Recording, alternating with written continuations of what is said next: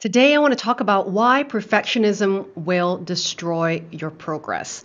Now, perfectionism will really keep us stuck in always not feeling good enough, right? Thinking we have to learn more things, right, to feel ready, or just busy doing more stuff, but none of those things are actually leading us to get to our goals any faster. Now, as a recovering perfectionist, I know how much perfectionism has been one of the biggest bottlenecks in obtaining success from my own life. And I want you to know that you are not alone. So, today, I want to show you what I've learned in navigating perfectionism for many, many years uh, and how you can too start really making momentum towards the things that you really want to do without having the perfection monster looming in the corner. Thanks so much for joining me today. I'm Lydia Lee from Screw the Cubicle, and I help budding entrepreneurs uh, create their dream business without struggling with self doubt, overthinking, and complicated strategies. So, if you're looking to build a business that you love, that's designed from your strengths, your values, and your personality, then be sure to hit subscribe and the bell button to keep tuning in for videos just like this one. In order for us to start to let go of perfectionism and be able to progress more effectively towards things that we care about, we need to actually start to really look at our mindset that we have that is really behind why we are wanting to be perfect and be a perfectionist to start with. And very likely that language, you know, the way you're talking to yourself in your head, is what is causing some of these uh, blockages to come up for you, right? When it comes to doing something exciting in the beginning of time when those ideas come to you, and then you start to talk yourself out of things, right? Whenever that perfectionism monster comes on board with you. So we kind of want to think about what are you thinking? What are you saying to yourself that is brewing this perfectionism monster, making him grow bigger, right? With these negative self talk. So does any of this sound really familiar, right? Maybe you're saying, I need to learn more in order to have everything that I think I need to know knowledge wise, right, in order to pursue that thing that I really want to do right? Maybe that's what you keep playing like a record that you'd never feel like you've learned enough because everyone out there seems to know a lot more than you do. They seem to be a lot more qualified than you are, and you are not allowed to do anything at all until you are a perfect expert, right? Does that really sound familiar? I know that voice is always, always in my head, right? As a perfectionist as well. But what you can do is start to really think about saying something a little bit different to yourself. And maybe saying it out loud so that it's a little bit more effective for your brain to absorb this new truth. You can start to say, What I know right now is enough to start because I'm going to learn as I go, right? If you ever think about anything that you've ever been an expert about at your job, at learning how to raise babies, as learning how to go through school, right? Whatever it is that you've learned to achieve, you never knew everything right away. You simply started, you enrolled in a course, you went to school, you got an internship, right? You got ex- you gained experience at the workplace in order for you to be promoted, in order for you to get to that next stage of a goal. And starting any, anything new in your life, kind of in this is the same concept, right? So we need to embrace that we just know enough to start with. It's not all we're ever going to know, right? But if I don't start and I don't get the opportunity to learn, I'm just actually always going to stay here, never believing that I have enough knowledge to get started and to go and pursue my dreams. The second thing is to really think about the expectations and particular concrete outcomes that might have actually given you a lot of pressure in believing that and you know maybe you're saying to yourself I need to get to this exact thing to happen for me if not I failed right if not I am a loser, right? I am a failure if I don't get this right. So I have to get this right if I do this thing. Now, of course, if you say things like that in your head, right, or out loud, of course, you're basically telling yourself you got to be perfect. You ain't going to fail. And that is just never going to happen whenever you are trying to become the person, right, that you need to become to do the things that you want to do. So we need to reset our expectations for perfect outcomes. Right? What if instead we say things like, what if what I'm doing right now is an experiment and I can get real curious about the process, get curious about testing things, kind of playing out there in the playground and seeing what sticks. So the outcome is not to get things right. The outcome, right, that you can adjust is I want to actually feel into this activity, that I can say no to it later on and choose something else if I want to right? Have a different, redefine that outcome, have a very different outcome that's going to be more healthy and much more realistic to be honest, right? For you to actually achieve instead of these concrete, faraway outcomes that actually gives you a lot more pressure, right, to deal with than, than, than not. And the truth of the matter is that if you simply decide to start, even if you're not going to get it right, right? You're telling yourself that your dreams and your goals are important to you because you're honoring it with action. And that can be a really, really important uh, fuel that you need to keep going and progress towards your goals, right? It's that giving yourself that pep talk that starting is an act, right, of honoring your dreams. And that really leads me to the second part of looking at perfectionism aim for progress and not perfection.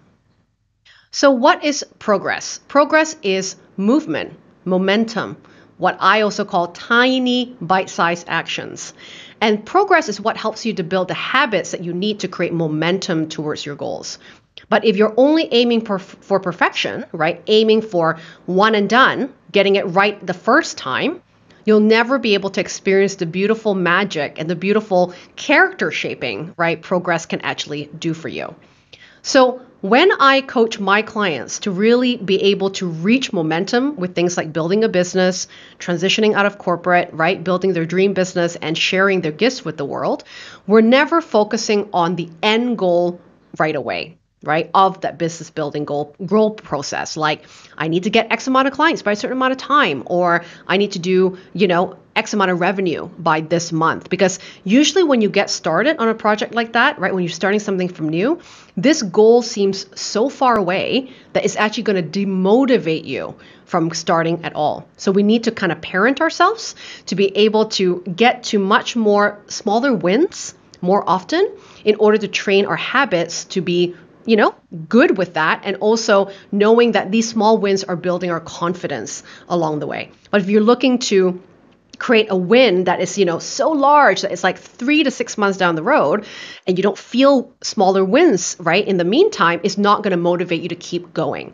right so small wins tiny actions are really the way to go and when I help my clients out with creating progress and not perfection, I always tell them to focus on movements. In my opinion, movements are so much more effective than big goals. Why? Because movements movements are things that you can actually control right? Instead of a huge outcome that you can't control, and you're going to procrastinate uh, more when it's sort of too big of a bite to chew, right? So movements are things like um, something you know you can do it in five minutes, you can do it in ten minutes, small. So if let's say you're looking for a new client or you're looking to um, access, you know, a particular person to pitch to for your services, instead of coming up with a huge marketing campaign, a movement is that you could direct message a woman that you met in your Facebook group that f- had a problem that you know how to solve and offer to help her genuinely and start that conversation, right? A movement could be, hey, I want to look for more, I want to fill my scal- calendar with more podcast interviews to market myself. Instead of, again, doing this huge bite of landing every podcast right away is one movement is I'm going to look at one podcast I enjoy listening to. Second movement, find the email, right, or the contact form on their webpage. And third movement, send a pitch email, right? And so if you do those movements repeatedly with multiple different um, podcast hosts or clients that you want to go for, can you imagine, right, incrementally, these small movements can really get you to results. So aim for progress, not perfection, and go for movements instead of goals. And lastly, imperfect action is just better than no action at all. So if you keep waiting to take the perfect action, you're going to end up not taking any action at all. And you're really going to start creating that self fulfilling prophecy all over again, like a cycle of not being good enough to get things done. You can see how that keeps repeating itself, right? So, in order to beat perfectionism, we have to be willing to say, I'm willing to take imperfect action that's just good enough for today. So reframe your standards to what is good enough. Good enough is probably what it is that you're capable to do today. You're allowed and you have permission to have an action, and it could even be a very powerful action with everything that you have in your resources and in your disposal right now. And know that you can make better decisions with every single action. Because you can imagine that when you take an action, you're going to affect a new reality. You're going to have a different outcome right away from taking that action, whether it's learning something new, whether it's learning not what to do, right, or what not to do, right, or learning what to do better. So, either way, any imperfect action is always going to progress you ahead in a positive way because it's going to help you to do the next action with more intention, with more mindfulness, right, and more consideration of what can work for you.